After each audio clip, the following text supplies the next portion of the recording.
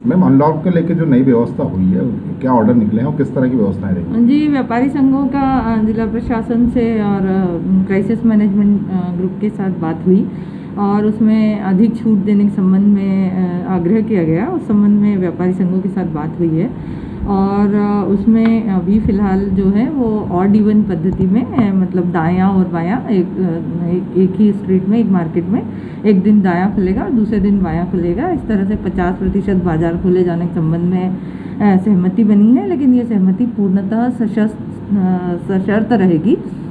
और मास्क अनिवार्य होगा।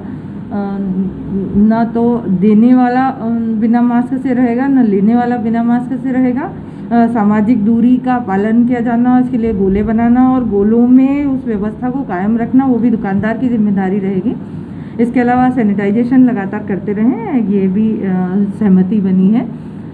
इसके साथ ही समस्त व्यापारियों को ये बता दिया गया है कि दुकान में सिर्फ़ लेन देन का काम होगा।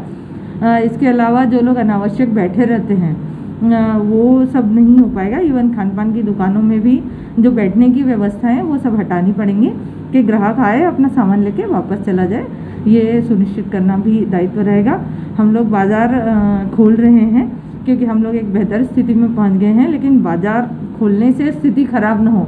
इस सब की ज़िम्मेदारी खंडवा के सभी नागरिकों की है और इसलिए मैं अपील करती हूँ कि सभी नागरिक बहुत संयम के साथ बाज़ार में आएँ और बिल्कुल ज़रूरी काम के लिए आएँ। आग्रह ये भी है कि परिवार सहित ना आए। बच्चों और बुज़ुर्गों को जो है वो बाज़ार से दूर रखें, न्यूनतम काम करके और अपने घर पे लौट जाएँ। ताकि ये जो आप सबके सहयोग से हम एक आदर्श स्थिति की तरफ़ बढ़े हैं ये बना रहेगा। और हम लंबे समय तक अपने व्यापार को और हमारा जो जीवन का नियमित चर्या है उसको हम अच्छे से चला पाएँगे। इसके लिए एक गंभीर अनुशासन की और आत्मसंयम की ज़रूरत होगी तो वो सब आग्रह रहेगा।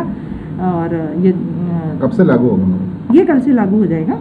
तो इसमें स्ट्रीट वेंडर जो है उनके लिए क्या कुछ रहेगा?